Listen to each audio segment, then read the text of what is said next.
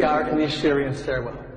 Located in Building 7, one of the first structures put up when RIT made the move from downtown Rochester to suburban Henrietta.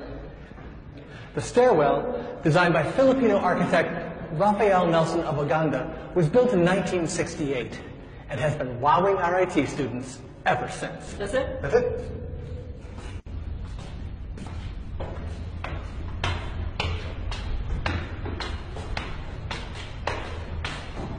Let's keep walking. Hit the top.